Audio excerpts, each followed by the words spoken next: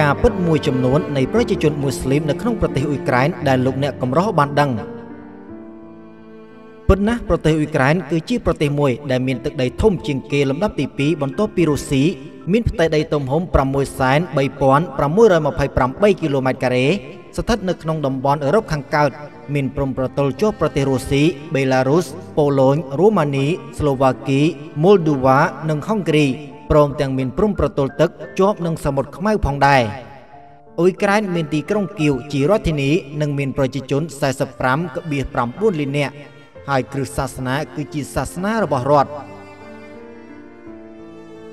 ប្រជាជននៅក្នុងប្រទេសអ៊ុយក្រែនដែលកាន់សាសនាអ៊ីស្លាមគឺមានចំនួនតិចតួចបំផុតដែលមានប្រមាណត្រឹមតែ0កណ្ដោសញ្ញា9%ប៉ុណ្ណោះនៃចំនួនប្រជាជនសរុបគិតត្រឹមឆ្នាំ2016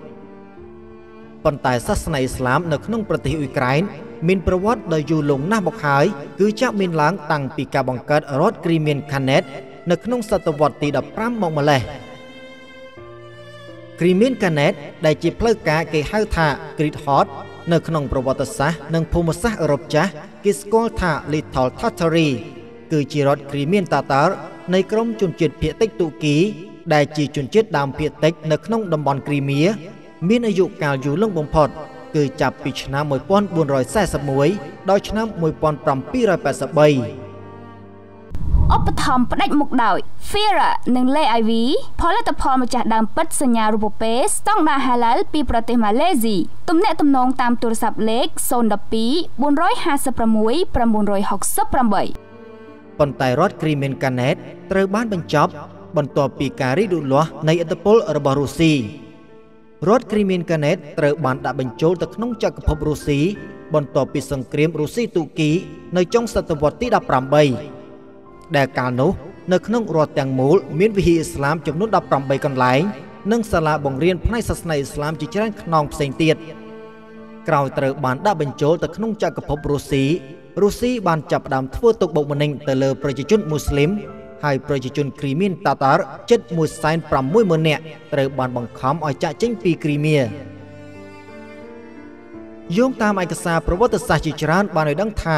មូស្លីមនៅគ្រីមៀត្រូវបាននិរទេសជាលក្ខណៈទ្រង់ទ្រីធំទៅកាន់អាស៊ីកណ្ដាលនៅឆ្នាំ1944ដែលមានប្រជាជនដល់ទៅច្រើនជាង2សែននាក់នៅពេលដែលលោក Joseph Stalin ជាមេដឹកនាំនយោបាយសូវៀតនាសម័យនោះ បានចោទប្រកាន់ពួកគេពីបទសហការជាមួយណាស៊ីអាល្លឺម៉ង់នៅក្នុងការនិរទេសមានប្រជាជនជាង1សែននាក់បានស្លាប់ដោយសារការអត់ឃ្លាននិងកើតជំងឺ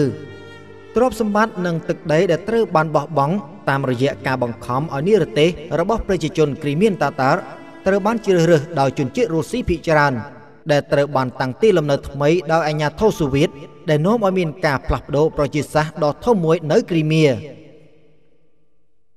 ទោះបីជាក្រិតរបស់សហភាពសូវៀតក្នុងឆ្នាំ1967បានដកចេញនៅការចោទប្រកាន់ពីការសហការក្នុងសម័យសង្គ្រាមប្រឆាំងនឹងប្រជាជនគ្រីមៀតាតារក៏ដោយក៏រដ្ឋាភិបាលសូវៀតមិនបានធ្វើអ្វីដើម្បីជួយសម្រួលដល់ការតាំងទីលំនៅថ្មីរបស់ពួកគេនៅគ្រីមៀនោះទេហើយការធ្វើមាតុភូមិនិវត្តរបស់ប្រជាជនគ្រីមៀតាតារ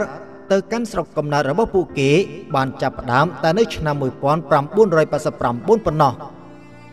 រហូតដល់ឆ្នាំ1991ក្រោយសហភាពសូវៀតបានដួលរលំអ៊ុយក្រែនគឺជាប្រទេសមួយក្នុងចំណោមប្រទេសជាច្រើនផ្សេងទៀតដែលបានប្រកាសឯករាជ្យចាប់តាំងពីទទួលបានឯករាជ្យការវិលត្រឡប់របស់ប្រជាជនគ្រីមៀនតាតារទៅកាន់តំបន់គ្រីមៀបានកើនឡើងបើធៀបទៅនឹងសម័យសូវៀតយោងតាមរបាយការណ៍របស់ Pew បានឲ្យដឹងថា ត្រឹមឆ្នាំ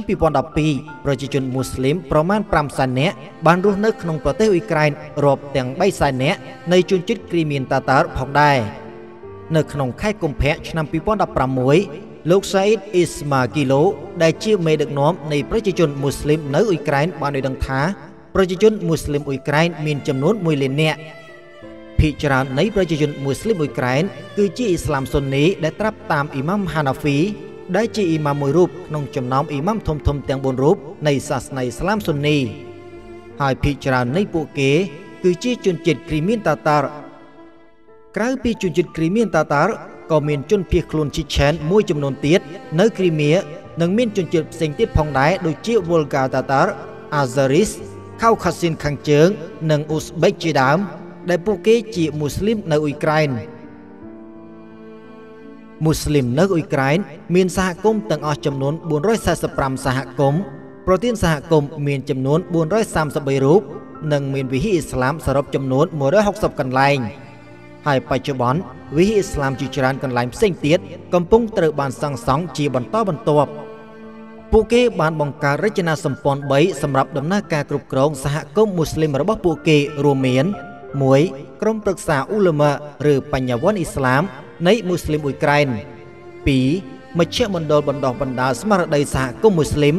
និងទី3ក្រុមប្រឹក្សាអ៊ូឡាម៉ាឬបញ្ញវន្តអ៊ីស្លាមនៃក្រុមមូស្លីមដំកំណត់គ្រីមៀបន្ថែមពីនោះក៏មានរដ្ឋបាលផ្នែកសាសនានៃមូស្លីមអ៊ុយក្រែនផងដែរដែលជួយឲ្យពួកគេរស់នៅ និងប្រើប្រាស់ជីវិតប្រចាំថ្ងៃជាមួយនឹងប្រជាជនអ៊ុយក្រែនទូទៅ គម្ពីរកូរ៉ានដែលបកប្រែទៅជាភាសាអ៊ុយក្រែនពេញលេញត្រូវបានចេញផ្សាយដំបូងបំផុតនៅប្រទេសអារ៉ាប៊ីសាអូឌីតក្នុងឆ្នាំ2012ប្រជាជនមូស្លីមអ៊ុយក្រែនក៏ធ្លាប់រួមគ្នាបង្កើតគណៈបកមូស្លីមអ៊ុយក្រែនផងដែរប៉ុន្តែវិញ្ញាបនបត្រចុះឈ្មោះរបស់ពួកគេត្រូវបានលុបចោលទៅវិញក្នុងខែវិច្ឆិកាឆ្នាំ2011ដោយសារមិនបានតែងតាំងបេក្ខជននៅក្នុងការបោះឆ្នោតចាប់តាំងពីការបោះឆ្នោតសភាឆ្នាំ1998មក បងប្អូនប្រិមិត្តទស្សនិកជនជាទីមេត្រីដោយសារតែការបញ្ចូលឧបទ្វីបគ្រីមៀរបស់រុស្ស៊ីនៅក្នុងសង្គ្រាមឌុនបាសដែលត្រូវបានវាយប្រយុទ្ធគ្នានៅជិតឌូណេសនិងលូហានក្នុងឆ្នាំ2014ប្រជាជនមូស្លីមសរុប750,000នាក់រួមទាំងជនជាតិគ្រីមៀនតាតារកន្លះលាននាក់កំពុងរស់នៅក្នុងទឹកដីដែលលែងត្រូវបានគ្រប់គ្រងដោយអ៊ុយក្រែននេះបើតាមការបញ្ជាក់ដោយលោកសាអ៊ីតអ៊ីស្ម៉ាគីលូ គណៈគ្រប់គ្រងជាន់ខ្ពស់នៃសាសនាអ៊ីស្លាមនៅអ៊ុយក្រែនទោះបីយ៉ាងណារហូតមកដល់បច្ចុប្បន្នមិនទាន់មានរបាយការណ៍ណាមួយដែលបញ្ជាក់អំពីការធ្វើទុកបុកម្នេញទៅលើពួកគេទៀតនោះទេ។